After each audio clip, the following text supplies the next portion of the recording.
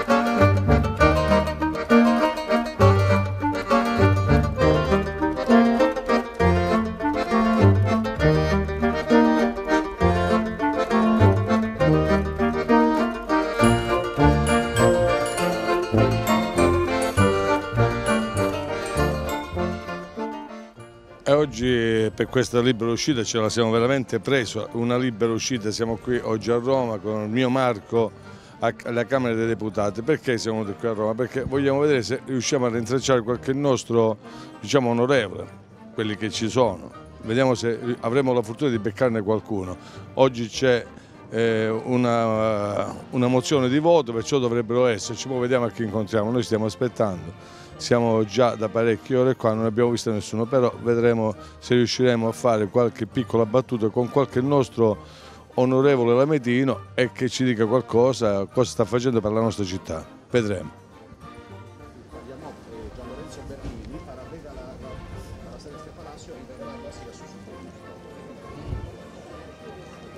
Si sente? No, non si sente niente. Non entiendo. Non intende, non intende. È spagnolo? Ah. Andiamo a vedere cosa dicono. Vieni, vieni Marco, vieni. Gli hai spiegato dove ci troviamo qua? Eh sì, certo che gliel'ho spiegato. La storia gli ho spiegato, che è ancora più indicativa. Raccontami la storia, no, vediamo. Alfa. Questa- Allora, questa è la Camera dei Deputati. E questa è la Camera dei Deputati, sì, però in, in epoca moderna è stata... le- eh, certo, questo era un palazzo disegnato da Bernini e costruito per essere un regalo di nozze che il Papa Innocenzo X faceva a sua nipote, Olimpia Panfili. Quanto tempo hai studiato ti ripeti tutti i giorni la stessa cosa? Eh? E allora, prima si studia per sapere la storia e dopo per mantenere la pazienza e ripeterlo tutte le volte. Loro sono spagnoli? Loro sono spagnoli, sì. Dove sono? E della de- Valencia, Pale- Palencia. Ah, ok. Valladolid, sono di varie, di varie città della, della Castiglia. Tu digli una cosa, se succedono le stesse cose in Spagna come succedono in Sì, questo sì, palazzo? è già, già appurata la cosa. Eh, sì, sì, ti hanno sì. detto, se Sì, qua fanno sì, le sì, manovre anche tutto in il- Spagna. Tutto il mondo è paese. Ah, ho capito, tutti, il mondo tutti è paese. Qua i soldi, qua, tutto qua. Siamo latini. Molto ciorecce. Gratos, gratos. observan en Italia las maravillas del Renacimiento y del Barroco. En Exacto. España lo han convertido ya en, en viviendas eh, como Madrid, ¿no? por ejemplo, mm, viviendas actuales, aunque siguen bastantes edificios, pero no tantos como aquí. Io non ho capito niente, me lo dici tu.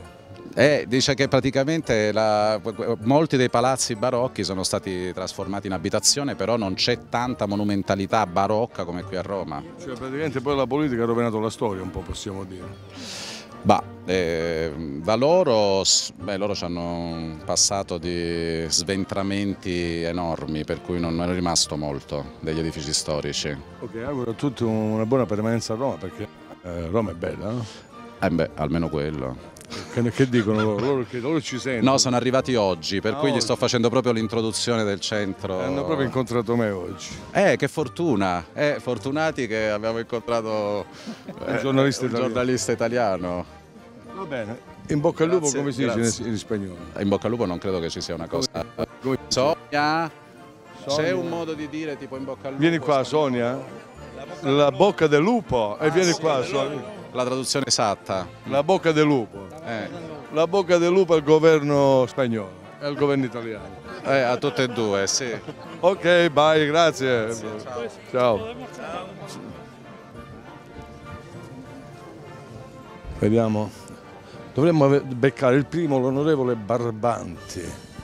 Caro onorevole, ci vediamo a Roma, come sta? Beh, bene, bene. Bene. Sì, sì, sì. Ma è uscito adesso? No, stiamo ancora votando, ora c'è una fase di dichiarazione di voto, quindi abbiamo 40-50 minuti. 50 minuti. Eh beh, Lei sì. cosa va a fare 50 minuti in giro? No, Ci di solito sto in fa? aula, insomma, a sentire le dichiarazioni di Eh, voto, a insomma, prendere un caffè, comunque... diciamo, giusto per prendere un po' d'aria da stamattina. Beh, Ha sì. visto gli altri onorevoli nostri dentro? Ma mh, sinceramente non ho guardato, anche perché non, non so se ci sono, penso di sì, insomma. ma- capito. Facciamo una chiacchierata perché ho l'onore, ho l'onore di prendere l'onorevole Barbanti proprio qua alla Camera dei Deputati. Una domanda, loro sa chi ha costruito questo palazzo? No, mi prendi, mi cogli impreparato. Questo l'ha costruito, fu ordinato da un Papa Bernino, lo fece Bernino, lo costruì. Ah, bene. Bene a sapersi. Così ya non lo sa nessuno. Sei fonte di saggezza sempre e di No, conoscenza. no, no, vabbè, è- vabbè, ma mi offre un caffè, qualcosa sono venuto da- dalla mese. qua È solo un caffè, facciamo un che prende- aperitivo. lei che prende tanti soldi al mese, almeno Eh, vabbè. nostro emittente qualcosa ce lo può offrire. Poi parleremo anche di questo, non- ma lo faccio molto volentieri. Non dica il pranzo, però almeno un caffè ce lo può offrire al centro di Roma, onorevole. Con molto piacere. E dove ci porta? Qua dietro. Andiamo proprio al bar che c'è qui dietro Piazzale Va del. Parlamento. Andiamo. Andiamo. Andiamo con l'onorevole e vediamo cosa ci racconterà la sua giornata tipo romana, va bene? Volentieri. Però già Bernini non sapeva che l'ha fatto Bernini sto, sto palazzo. Mea culpa. Ma lei è giovane e perdonabile. però. No, assolutamente, perché non deve essere la gioventù una scusa, eh, diciamo, al non sapere le cose. Uno non, può, uno non può essere onnisciente, sono d'accordo, questa è una mia pecca, ora lo saprò. Vabbè, andiamo, onorevole, Grazie. andiamo.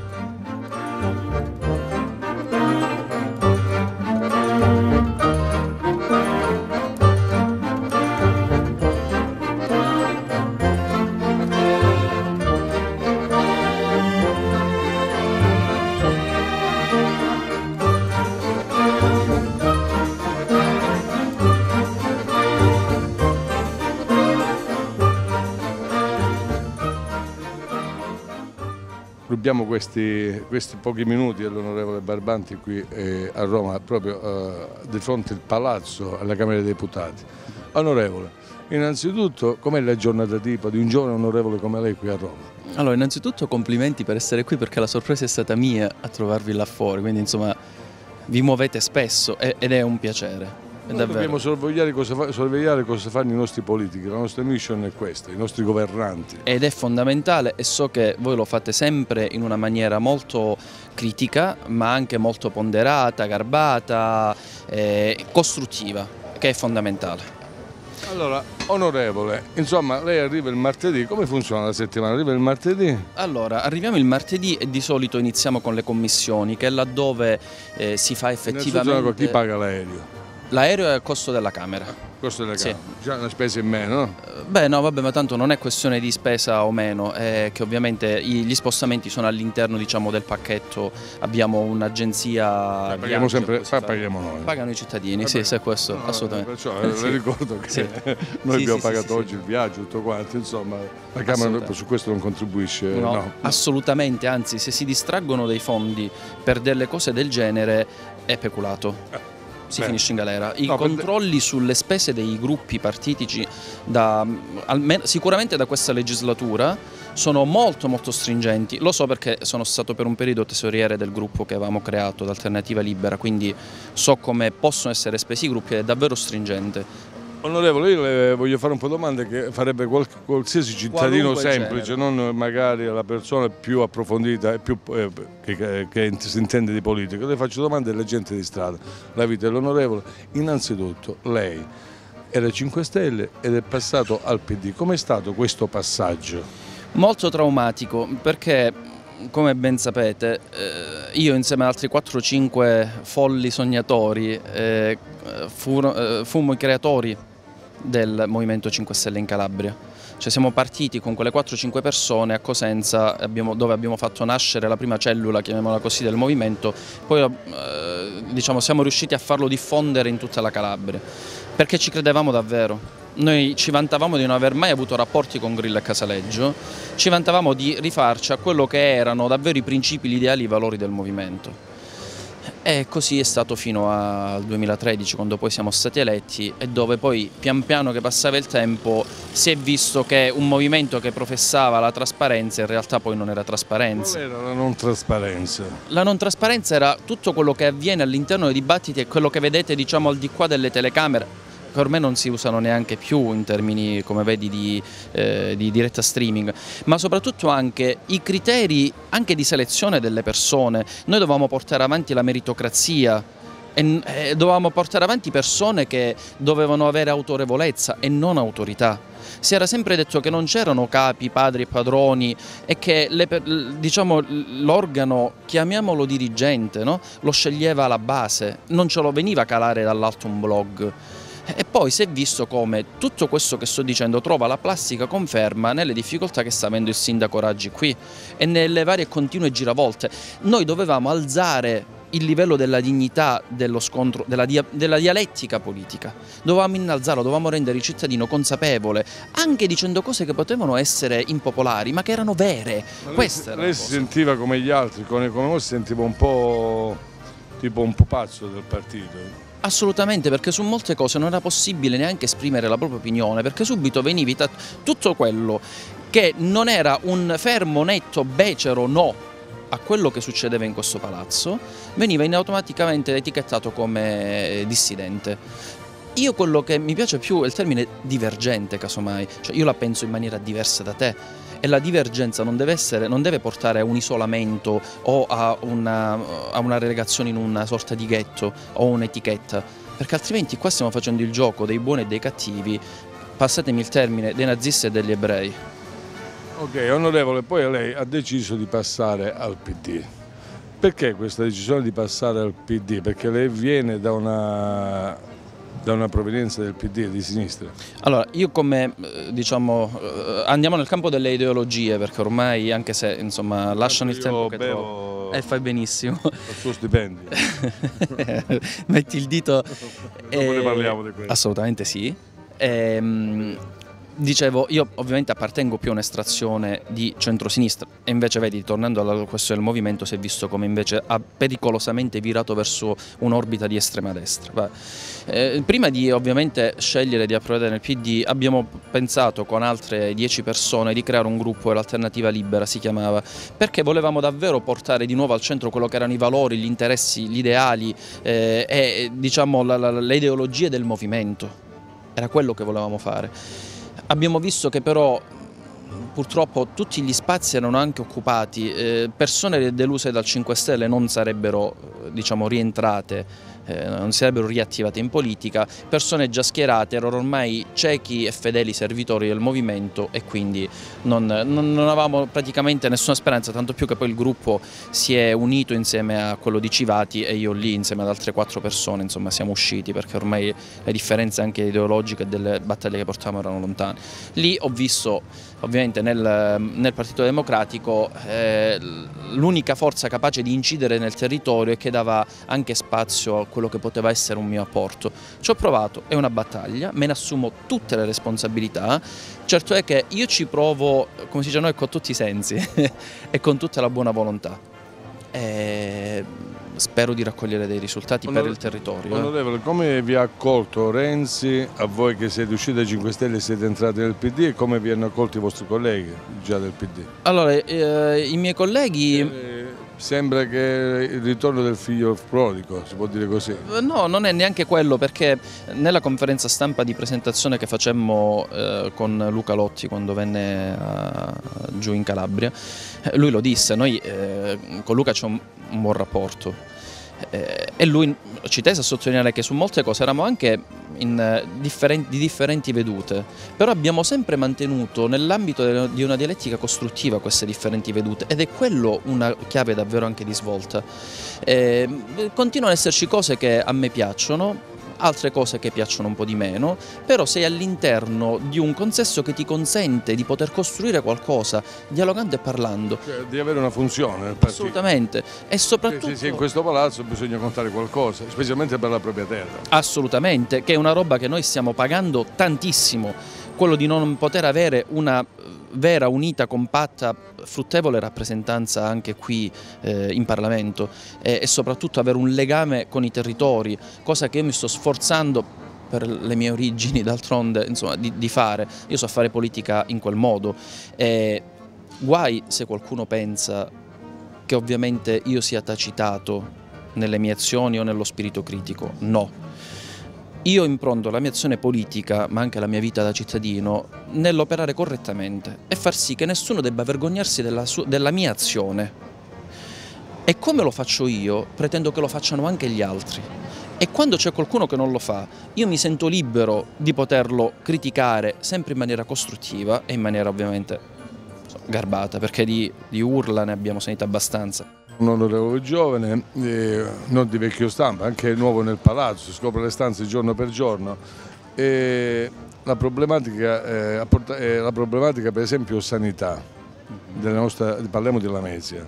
Lei, eh, lei, ha detto qualcosa della nostra sanità, cosa succederà, se ci sono sviluppi positivi, insomma ha sentito qualcuno? Allora, ho sempre riferito... Lei fa parte della maggioranza, sì, ricordiamo. Sì, io qua ho sempre riferito quello che era l'operato, in questo caso nella nostra regione, dei commissari e di tutti i malumori che ovviamente stavano creando.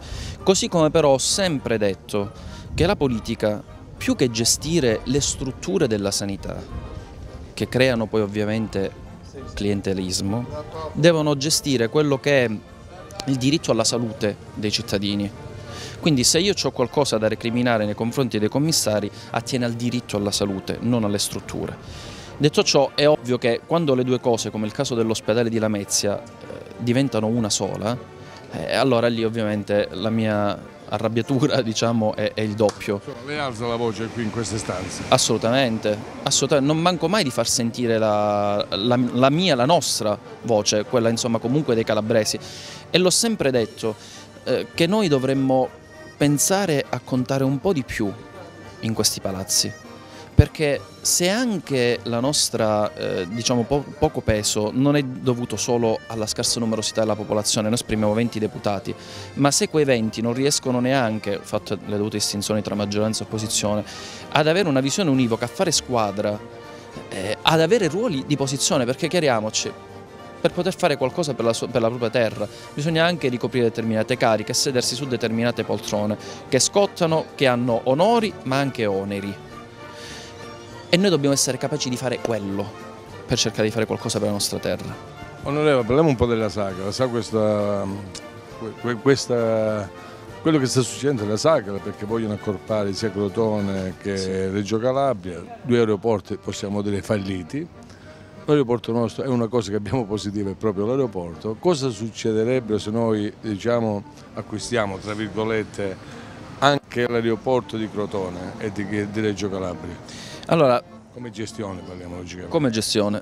Eh, ho letto il bando dell'ENAC anche se molto velocemente. Hai detto bene, i due aeroporti di, Crotone e di Reggio Calabria sono praticamente falliti. Quello di Lamezia non voglio fare allarmismi, non è con un piede nella fossa ma poco ci manca. Abbiamo avuto una perdita di 2 milioni di euro nell'ultimo anno, il patrimonio è ridotto a 5 milioni e mezzo e in realtà c'è un aumento di capitale che ancora deve essere fatto e dobbiamo arrivare a 12 e mezzo, una roba del genere, quindi c'è ben strada. Si è stata creata da poco la handling, la, con mia molte titubanze, non so dove porterà e quant'altro. Ora pensare tra l'altro c'è, perdonatemi, un investimento di 54 milioni di euro che devono fare sull'ammodernamento dell'aeroporto. No, l'ammodernamento dell'aerostazione. Dell'aeroporto, esattamente, dove, vado a memoria, poi correggetemi se sbaglio, ma sembra che la quota a carico della SACA è 34 milioni di euro, 9 milioni in più rispetto a quelli prospettati. Quindi questo disegna già un quadro di una situazione abbastanza diciamo, da attenzionare, per non utilizzare altri termini, sia da un punto di vista finanziario che da un punto di vista di organizzazione. In questo contesto, pensare di andare a prendere altri due aeroporti poi mi sembra che il bando non parli né di situazione debitore né di personale. Ricordiamo che ancora c'è il bando, eh? non è che è una cosa sicura. Perciò, Assolutamente. Però è meglio come noi diciamo in rassegna stampa, pensiamoci adesso, non vorremmo trovarci una brutta sorpresa. Esatto. Quando poi nel bando non parla né di situazioni debitore, eh, vado ovviamente, l'ho letto velocemente, né di dipendenti, lì è da attenzionare, ma c'è un altro passaggio che vorrei fortemente sottolineare. Qualche mese fa è stato presentato il piano aggiornato, il piano strategico della SACAL, dove si dice cosa vuole fare l'azienda da qui a X anni, di solito sono 3-5 anni, a seguito di quella creazione della handling. Ok? In questo piano strategico non era minimamente contemplata la possibilità di acquisizione di, altre, di altri aeroporti. Non c'era.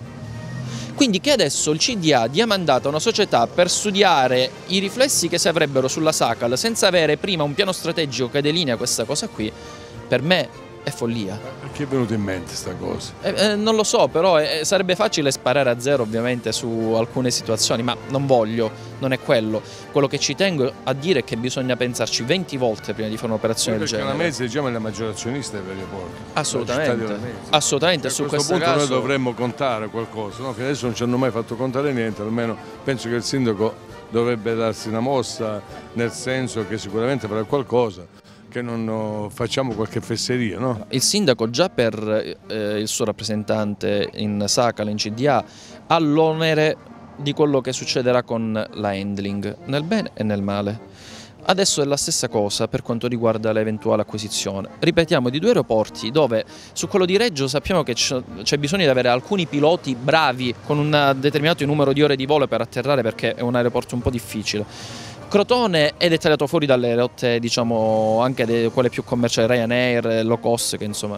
Crotone abbiamo visto insomma, che non, praticamente non ha più voli, da ottobre anche Ryanair va via, quindi anche qui, se anche prendiamo quei due aeroporti, è stata fatta una richiesta di avere traffico su quegli aeroporti, cioè a costo di sembrare impopolare, ma siamo sicuri che la sfida della mobilità in genere calabrese passi per il fatto di avere tre aeroporti e non per il fatto di avere un aeroporto grande che funzioni bene, che vuol dire anche tariffe più basse, raggiungibile in un'ora da tutta la regione Calabria.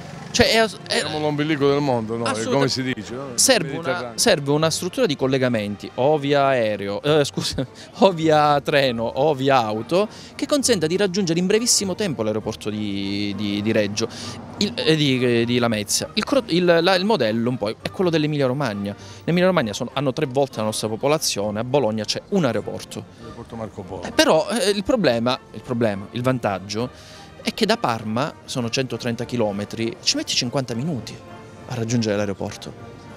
E da noi invece, se prendiamo più o meno a distanza pari Reggio Calabria, ci vuole un'ora e mezza. O per dire, peggio ancora Crotone, che è ancora più vicino ma ci vuole ancora più tempo. Insomma è un'operazione che a lei non piace. Ho, ho come non piace neanche, perplessità, dubbi. Abbiamo parecchi cittadini. Eh. Assolutamente. Ci sono molte critiche su questo fatto dell'aeroporto, di, di, insomma di entrare insieme agli altri aeroporti calabresi, insomma compriamo un debito praticamente che non dobbiamo fare. E tra l'altro non vorrei, poi eh, perdonatemi, sono sospettoso, ma quando abbiamo una parte di un CDA, cioè o di un CDA eh, di cui una parte sappiamo i problemi, insomma hanno la scure della, della magistratura che pende sopra, per determinate cose, assunzioni facili, appalti facili, passatemi l'approssimazione giuridica, eh, ho un po' di perplessità che poi ovviamente eh, vadano a gestire situazioni ancora Vabbè, più lei lui, eh, sta di sopra col, col suo occhio vigile su questa faccenda sicuramente. Assolutamente Onorevole, lei quanto guadagni? Scusi se cambio, vado così perché la gente lo vuole sapere. Lei quanto è così giovane? Lei innanzitutto che lavoro faceva prima di essere onorevole perché non tutti lo sanno. Eh? Allora, io lavoro per una società che fa diciamo, consulenza per le banche, quindi mi occupo di pianificazione strategica, marketing, controllo di gestione, quindi sostanzialmente quando una banca, soprattutto quelle piccole del territorio, devono capire un po' qual è eh, diciamo, come vogliono sviluppare il proprio business da qua a 3-5 anni, quello che diciamo un po' prima con la Sacal, allora in questo caso chiamano la struttura dove lavoro e eh, si fa il piano strategico. Una consulenza. Una consulenza, esattamente. Una consulenza. Quanto guadagnava prima? Prima guadagnavo circa 2.500 euro al mese, netti. Per le 12 mensilità sono circa 55.000 euro lordi annui. E ci sta, per la sua professione, no? Ma qua, diciamo la verità, chi dice 15, chi dice 14, chi 16, lei è effettivamente un onorevole, quanto guadagna qua? Mi dica la verità. In totale sono 11.300 euro netti. Che lei prende al mese? Sì. Riesce a vivere? Abbondantemente, molto, fin troppo. Il problema è... Mi dica, quali sono le spese che lei ha?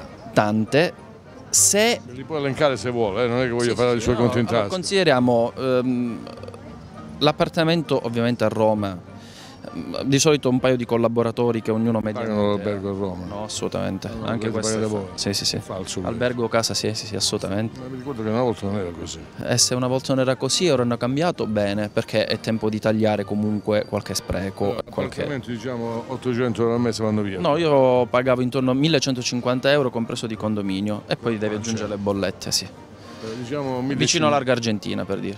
Al centro, 1500. Poi, esatto, poi hai chi uno, chi due collaboratori, più ci gli vogliono, addetti no stampa. Eh beh, se uno, deve, eh, se uno lavorare sì, perché poi ovviamente c'è chi ti segue i rapporti con il territorio, c'è chi ti fa le interrogazioni, comunque tutti gli atti di sindacato ispettivo, ti studia le leggi, ti fa dei dossier.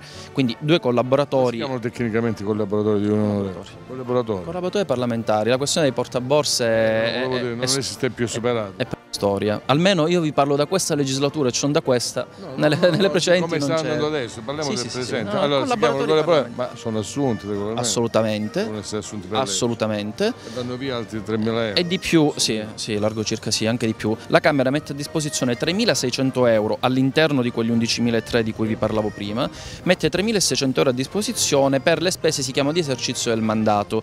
La metà di... Oltre 11.000 euro. No, no, no, all'interno degli All'interno 11.000. degli sì. 11.000. Ora, ora, Non vorrei confondermi con la matematica. ora, ora ti dico anche come sono divise le- i vari capitoli di entrata. Così finalmente chiariamo sto, sto Che tra fatto. l'altro è tutto pubblico sul sito della Camera, eh, cioè nel senso è per tutti il trattamento economico uguale. Ehm, questi 3.600 euro, la metà devono essere rendicontati alla Camera, cioè io devo presentare eh, di almeno 1.900 euro come li spendo. Certo. Se non lo presento la Camera se li tiene e quindi non me li dà. Vuole far caso dei 11.000. Esattamente. Ok. Eh, poi abbiamo, quindi abbiamo 5.000 euro che sono lo stipendio netto. Esatto. Poi ci sono 3.500 euro che sono le- la, la diaria, è una cifra che serve per pagare mm, l'albergo, la casa, il mangiare quando uno è a Roma o in trasferta. Queste, eh, queste 3.500 euro viene ogni giorno di assenza dalla- dai lavori della Camera, vengono detratti 206 euro. Della presenza. Esatto, se io mi assento 10 giorni mi tolgono quant'è? 2.060 euro. No, di più. Quanto sono al giorno? 206 sono, euro. Sono Se 10 manco giorni 10 su 4, giorni. su 4.000 euro.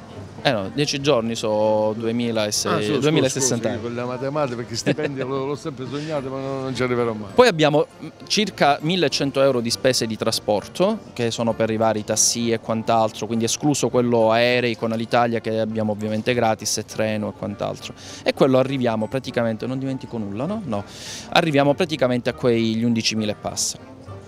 Il problema reale è che innanzitutto bisognerebbe secondo me far lavorare di più la rendicontazione, un po' come avviene al Parlamento europeo. Io Camera ti do i soldi, ma non a te. Li do ad esempio ai tuoi collaboratori, li do direttamente per pagare Insomma, l'affitto di alla fine la domanda è questa, onorevole, no? per fargli conto in tasca. Quanto gli rimane? Rimangono uno stipendio dignitosissimo, a me personalmente rimangono dai 3.000 ai 3.500 euro. E io mi domando una cosa, che dice la dicono i cittadini, ma quando era il 5 Stelle lei doveva lasciare il metà, come funzionava No, partito? quella è un'altra storia, un'altra leggenda metropolitana. Una leggenda metropolitana Sì. fatta da... Ma tra l'alro, eh, ecco, proprio questa cosa Cioè, allora lei mi va a supporto. Oh. Perché lo stipendio che come avevamo firmato noi era 60.000 euro lordi annui, se non erro, erano 3.200 euro al mese. Tutto il resto era da rendicontare.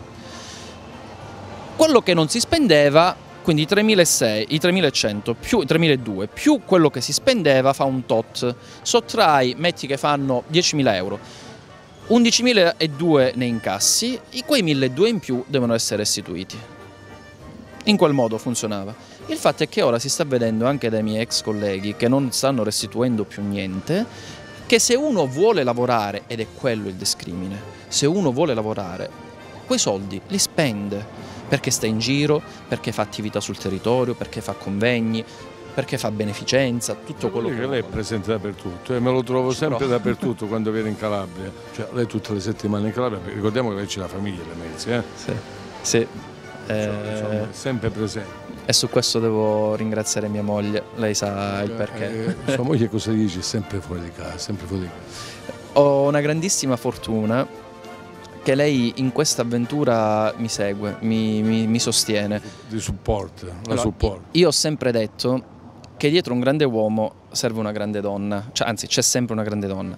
Io non sono un grande uomo, ma mia moglie è una grande donna. Bel complimento, bel complimento dell'onorevole Barbante e della sua signora che lo salutiamo veramente caramente e della sua bambina, no? Bambina e ba bambini. Bambino e due bambini. E, onorevole, ho saputo un'altra cosa. Ah, che poi tra l'altro, chiudendo il discorso stipendio, il problema vero è che se qui dentro una persona non vuole lavorare, si imbosca tranquillamente e non lavora. Sono tanti. Eh. No, non voglio neanche generalizzare, è un, come, no, è un po' come una classe di studenti, no? eh, la pecora nera c'è. Lo vediamo quando fanno l'inquadratura della Camera, mentre sono tutte quelle sedie vuote, onorevole. No, dipende poi da quando fanno l'inquadratura, perché se fanno l'inquadratura ora, anche adesso, magari ce ne saranno poche, ma perché durante alcune fasi della discussione... Ci sono state delle emozioni importanti. Oggi sì, ci sono delle, delle emozioni che sono già state discusse, però anche lì il vero lavoro si fa all'interno delle commissioni si fa all'interno delle commissioni perché andiamo per materia, per competenza. Ora, a me magari per interesse personale potrebbe anche interessare una proposta di legge, un qualcosa su un settore particolare. Io sono commissione finanza. Però a molte persone posso capire che può non interessare, ma anche perché banalmente o sono impegnati in altre attività o non hanno le competenze, ci sta, insomma non è che magari se ne disinteressano perché ovviamente si concentrano su altre cose, discussioni che riguardano leggi che ovviamente non sono nelle loro competenze. Ecco perché le commissioni sono fondamentali ed ecco perché quello che si dovrebbe fare di più, a prescindere dallo stipendio, è quello di far lavorare.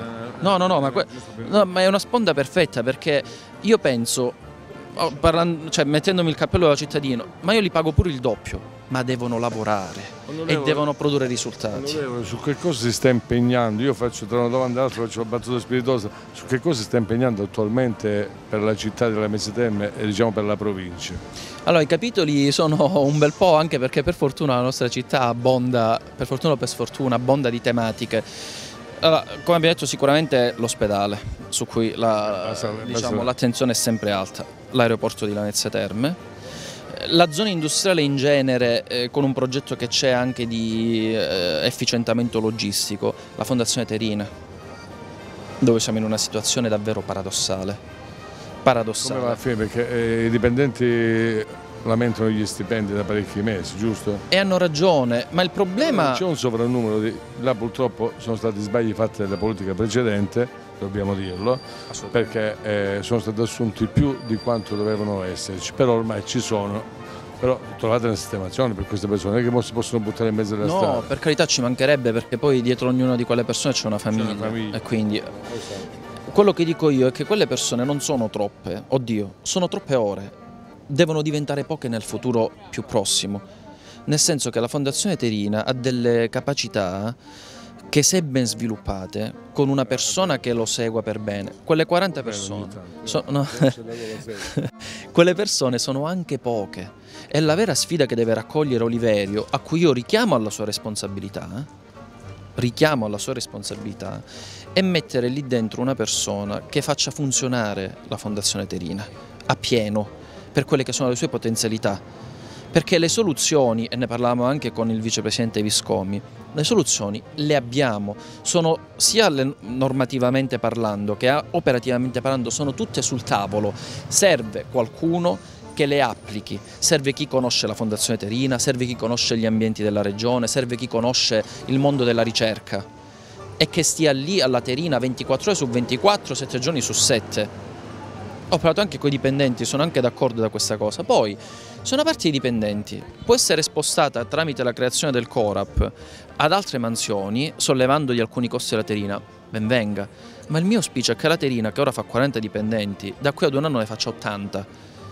Anche perché con tutto l'indotto che può creare è una ricchezza per tutta la Certo, Posso Calabria. creare tante cose, però se ferma così non crea niente, no? Assolutamente. Assolutamente, ma basta mettere per esempio per rilanciarlo nei bandi del PSR l'utilizzo della terina, sfruttiamo quei locali per fare i convegni invece di andare a pagare alberghi per fare i convegni là, utilizziamo quello che abbiamo.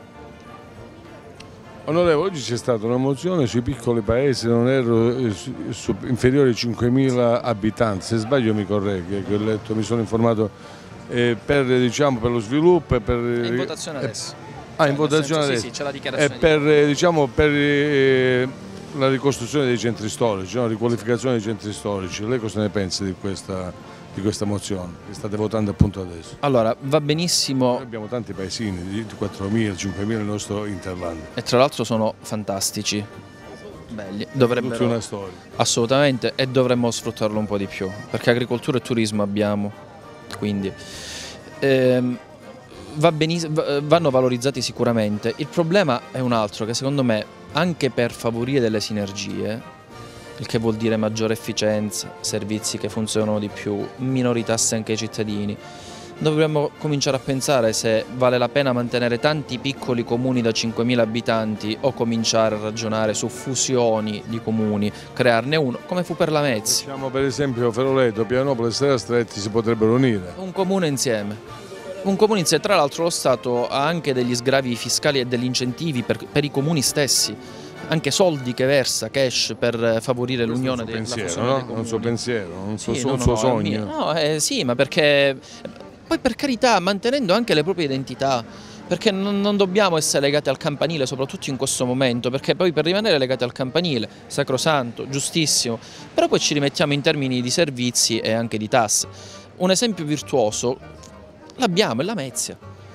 Cioè da tre comuni, ancora oggi sento dire, ah ma io sono di San Biase, io sono No, di... per questo io- sono leggende, dovre- dovremmo essere più... Sì, sì, assolutamente. Le- le- le- ci facciamo la guerra tra i poveri, parliamoci. Sì, dovremmo da questo punto di vista riscoprire un po' più il senso di comunità su Anche questo. un po' di realtà come le squadre di calcio, San Biase, nella me ci sta bene perché come Va Chievo, ci sta bene le varietà del quartiere diciamo. Però dobbiamo essere tutti uniti e compatti. Ma sì, quando rimane poi a livello anche di zingarata, no? di sfottò, è anche bello perché insomma alla fine... Forse è mancato questa, questo- proprio questa compattezza tra i nostri tre comuni che non siamo cresciuti politicamente a livello nazionale. Sì, può anche essere, lì c'è un problema eh, vabbè, sia di territori ma sia poi soprattutto anche di partito, perché qua il partito poi deve prendersi, partito, movimento che sia, qualunque organizzazione politica poi deve prendersi anche insomma, le proprie responsabilità, fare un esame di coscienza, un mea culpa e ripartire dall'analisi dei problemi in maniera costruttiva. Guai a nascondersi dietro un dito, a dire noi siamo i più puri, noi siamo bravi, non abbiamo problemi. Una cretinata, lo sappiamo tutti quanti. E poi lo sai, hai visto io, non ho nulla da nascondere e se c'è da, come ho detto prima, fare critiche costruttive, io sono il primo che le faccio. Però devono essere appunto costruttive. Onorevole, un'altra cosa, io lo faccio la domanda a sé, la la domanda diciamo che quello che dice la gente, quello che vuole sapere. Ho saputo una cosa, perché mi sono un po' eh, informato su di lei, ma lei fa parte anche della nazionale calcio parlamentare, è vera questa storia o no? Sì. E le, sp- le spese di questa squadra che so che andate a giocare a Venezia fra poco, Sì. contro un, fate un triangolare Sì, con- contro le vecchie glorie del Venezia e la nazionale e- e- geometri. e in questi giorni sono Sì. Sì, sì, sì. e pagano sempre, paghiamo noi, come funziona? Ecco, è un altro fatto perché tutti mi faccio questa domanda, questa domanda, come funziona? Guarda, la nazionale parlamentari è uno degli esempi di come effettivamente si può, ehm, cioè si, si va oltre quello che è lo Che ruolo gioca nel futuro? Io gioco, dipende dal mister dove mi fa giocare, alcune Il mister volte eh, picchio desisti. Sì, sì. Il picchio desiste. Il film famoso Loro Bambi. Oh no, picchio desiste. Eh, di, Marco Chiariti che si ricorda il di Lino Bambi. eh, di solito come centrocampista destro o centrocampista sinistro. quindi o alcune volte mi metto un po' dietro le punte. Come funzionano le spese? Perché sicuramente voi non andate a dormire nelle pensioni Miramare, andate negli alberghi di lusso, No, insomma con no, la squadra. No, come- no, anzi guarda, sfatiamo, io poi parlo per me, dovunque andiamo, ovviamente in questi eventi sono tutti a carico nostro, Eh. perché sono eventi ludici, ma soprattutto di beneficenza. Perché tutti gli incassi che racimoliamo insomma, con queste partite e anche qualcosa che mettiamo noi eh, vanno tutti quanti in beneficenza ogni volta. Perché Insomma. voi mettete qualcosa durante le partite poi? Mettete un piccolo gettone, diciamo. Non si dovrebbe dire, No, no, Eh, però... non lo dico, non lo dico, non lo dico, non lo dico. Sì, no, anche perché non, come si dice, È fai una la, squadra che fa beneficenza a tutti gli effetti. Sì, sì, da questo punto di vista sì. Ed è fatto da tutti i membri, da- andiamo dall'estrema destra all'estrema sinistra. Siete tutti amici, eh, ed è giusto che sia che lo sport unisce poi. Eh, Sì, perché vedi la cosa che... Galati, c'è Galati. No, Secondo me non c'è perché pure che qualcuno gli tira i capelli. Sì l'ho detto cattivo, eh. No, l'ho detto, detto io. l'ho detto. Sì cattivo, eh. No, no, vabbè, eh, noi a Pino, eh, salutiamo Pino Galati, per Eh. l'amor di Dio. Insomma, gli è riuscito il trapianto, è venuto bene, non vorrei che uno va veramente gioca a pallone, gli piace il calcio, gli tira i capelli, rimane... Cioè, no, non vogliamo questi danni. Comunque, onorevole, eh, abbiamo detto un'altra cosa, questo fatto della squadra, insomma, eh, io gli voglio fare una domanda, a lei, nel- qu- quanti voti è stato eletto col Movimento 5 Stelle? Allora, abbiamo fatto la- le primarie, Come- diciamo, come è interne. funzionato oh, la sua elezione? Eh, a un certo punto era dicembre se non mi sbaglio, vado a memoria perché parliamo del 2012, eh, si aprirono delle selezioni, cioè Via internet. via internet, sì sì sì. sì. Lei Abbiamo- praticamente come, come ha funzionato? Vogliamo sapere Prima pratica. fase candidatura, tutte le persone che erano iscritte al movimento entro una certa data e che erano residenti in Calabria in questo caso presentavano un curriculum per metterlo online, eh, facevano un breve video di presentazione e poi si sono aperte le candidature. Chiunque era iscritto certificato al blog residente in Calabria, iscritto da una certa data al blog, poteva poi votare. Esatto, e quindi là hanno votato una platea, non mi ricordo quante persone erano, all'epoca eravamo non tantissimi, forse in tutta la Calabria eh, un eh, 300-400 persone a conti con fatti. pochi voti nella selezione, Sì, poi io ne ho eh, avuto 69. con 60, bel numero. Con 69, no, no, vabbè, dai.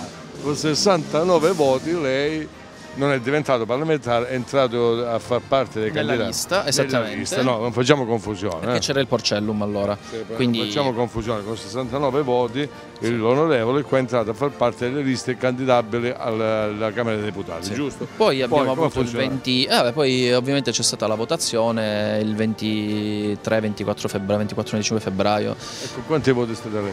No, eh, non ci sono i voti di preferenza, abbiamo preso il 25% Ah, sì, in mi ricordo, Calabria, sì, sì. Non mi ricordo a quanti voti Lei Con corrispondono. 69 voti possiamo Sì. dire, poi- Anche meno alcuni miei colleghi. Ma d'altronde, vedi, è il, è il funzionamento.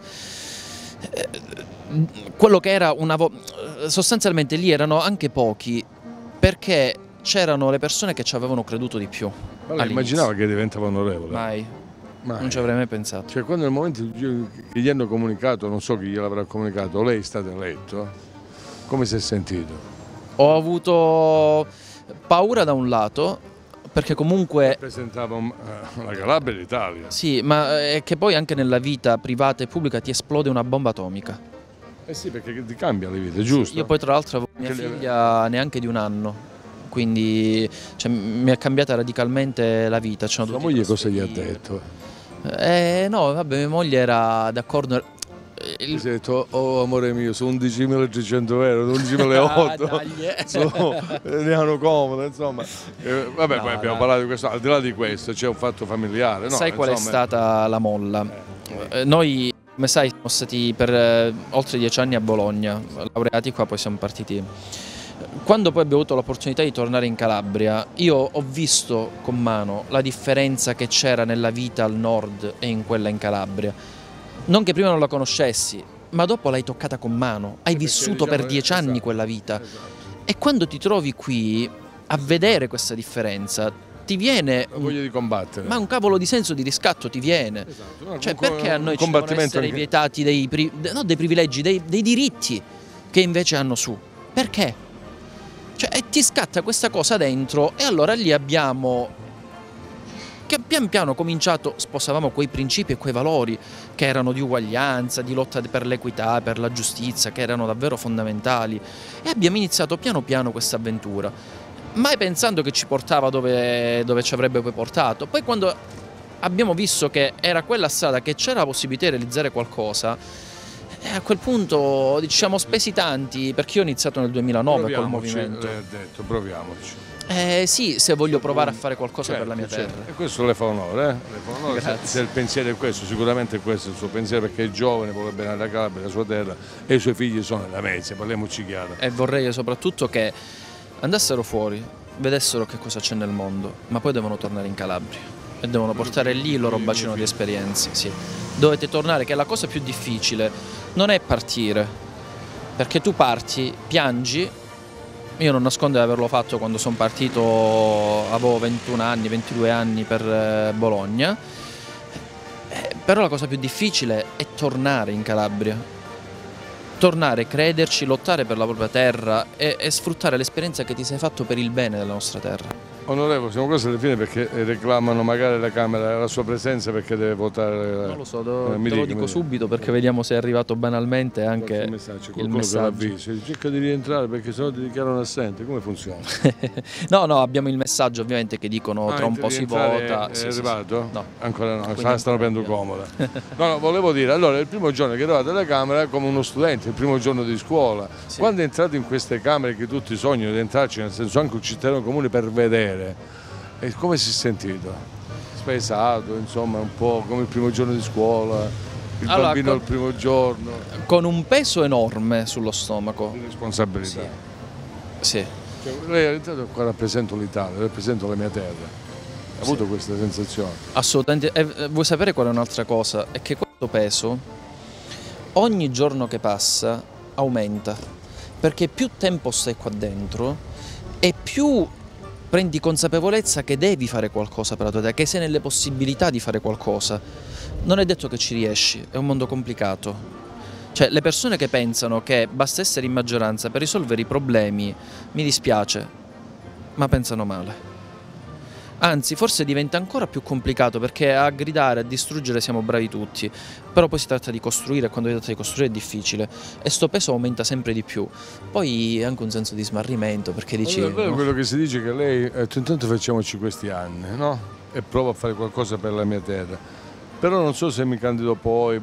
Lei intanto vuole fare del bene e poi penserà alle prossime candidature. Sì, È vero questo fatto? sì, assolutamente. Ehm, come si dice? Se, se dovesse rose- rendere conto che ha sbagliato in politica in questi anni, lei si, si ritirerebbe? Certo, assolutamente. Perché tra l'altro non... Avrebbe la coscienza di dire no, non è cosa mia, non ce l'ho fatta a fare delle cose per la, per la mia terra, perciò è meglio che mi dimetta che vado un altro. Non nasco Lei- politico, Perché quindi... poi succede questo? Volta che sei lì dentro, sì, molti politici ci prendono gusto. Sì, è vero, è vero perché la tentazione è forte e diventa ancora più forte quando tu hai fatto tutto un percorso, cioè sin da giovane politico, perché vivi per la politica, cioè scusa, vivi della politica.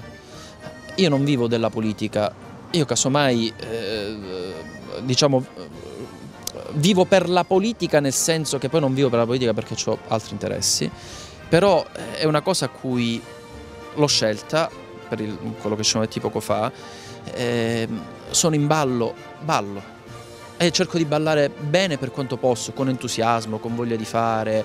Poi se sono rose fioriranno, si dice, no? Quindi se sono fiori fioriranno. Onorevole, questo era un incontro che abbiamo fatto per conoscerla meglio. Eh, noi abbiamo scherzato, gli ho fatto qualche battuta, le chiedo scusa se mi sono permesso. Anzi, devi farle di più. Poi io non ho nessun problema come vista rispondere, anzi, più piccanti sono, più. Vabbè.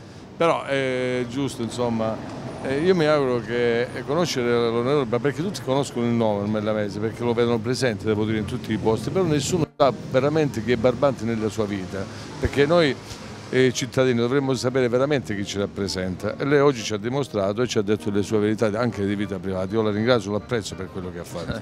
Anzi, Eh, mi sta dedicando mezz'ora mentre c'è una mozione. Ma no, ma, ma questo dovrebbe, vedi, io sarò contento quando queste cose diventeranno normali, perché quando ci sono le persone che mi dicono ah grazie, ma, ma grazie di che?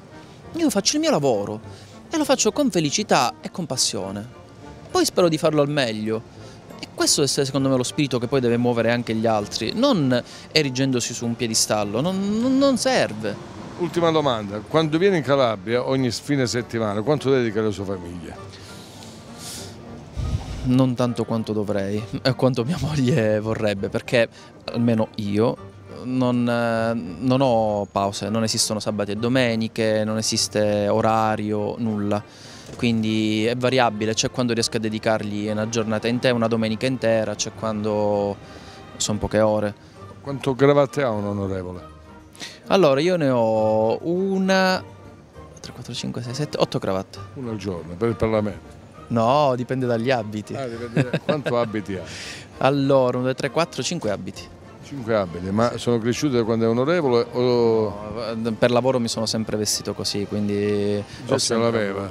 Beh, diciamo che l'ho cambiate perché qualcuno mo è un po' vecchio, passati i tre anni, insomma ogni tanto vanno cambiati. Lei ormai compra a Roma, fa shopping a Roma, Assolutamente no, sempre in casa. certo.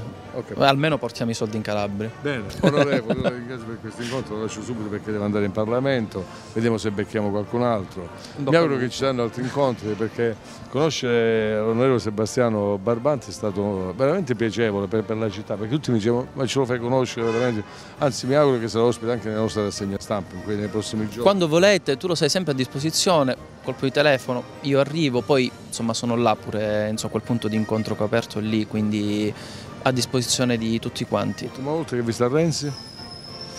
Non c'è mai, sempre in vacanza, cioè in No, vacanza, infatti, sempre in no, giro l'ultima volta è quando ma no, forse sarà ad aprile, ma perché c'era una votazione proprio sull'ultimo voto sul referendum, una roba del Mi genere. sembra che esagera quando dice le cose, il ponte di Messina, insomma, mi sembra un po' esagerato, insomma, sto ponte di Messina che non ci sarà mai. Beh, eh, il fatto è, se prima si mettono a posto le cose che ci servono, e devo dire che oggi Renzi l'ha detto, prima facciamo le opere che ci servono, poi facciamo il ponte. E a quel punto sì, prima mettiamo a posto la sanità, mettiamo a posto l'autostrada, mettiamo a posto la statale A 18. proposito di autostrada, no, a proposito di autostrade, si- eh, sarà inaugurata la nuova Il Salerno 22 Reggio- dicembre. ma, ma non tutta, cioè eh, il pezzo Cosenza alla Mezzia rimane, rimane sempre in quel modo. Eh non lo so, questo me lo devo studiare perché, è una bella, perché anch'io me lo sono io- chiesto. eh, scusa, eh, l'autostrada Salerno Reggio Calabria non si pensa che è tutta bella sei corsie, non è così. No, eh. quantomeno penso che si Ci sono molti riferisca. viadotti là. Sì, sì, sì, sì. Quella, quella parte va sicuramente. So che forse era stata anche fatta già il progetto, ora non ricordo. Quella parte va rifatta, parliamoci. Insomma, non è che Renzi poi... Però bene o male almeno non ci sono più sensi unici. Eh, Penso che si riferisca al fatto che non ci sono più sensi unici, è arrivato al confine con la Calabria non c'è più quella gincana Sì, da eh, fare no, che è taglia 22 C'è stato per vent'anni cioè. Insomma, quindi Sembrava un qualcosa. traguardo quando si arrivava là, non so se aveva questa Sì, sì, sì. Eh, ma l'agro negro siamo. Ma poi se chiede a me che io vorrei un'autostrada ovviamente a tre corsie, una tre a tre corsie tutta e soprattutto vorrei un'autostrada anche sullo Ionio, perché la statale 106, Ecco la statale la 106. statale 106 è una È vergogna. un cimitero, ogni 10 metri c'è un fiore. Sì. Allora, onorevole, io lo lascio veramente. Eh, le chiedo scusa se l'ho occupato tempo di Ma nuovo. Ci no, vediamo, ci vediamo alla Mezia. A disposizione quando vuoi. Questo lo pago io, pagate voi. Pago io ovviamente. No, non vorrei che pure cioè, vabbè, stiamo scherzando. Grazie, ci vediamo alla prossima.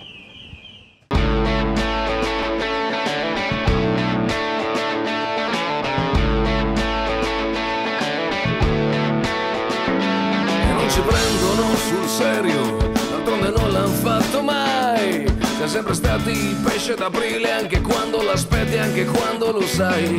E non ci prendono comodamente E con il loro dai e dai E con il loro chi ci acconsente Noi non abbiamo taciuto mai E non ci beccano più E non ci provano più. Non se lo chiedono più Cosa facciamo qui? Nelle scarpe da corsa Libera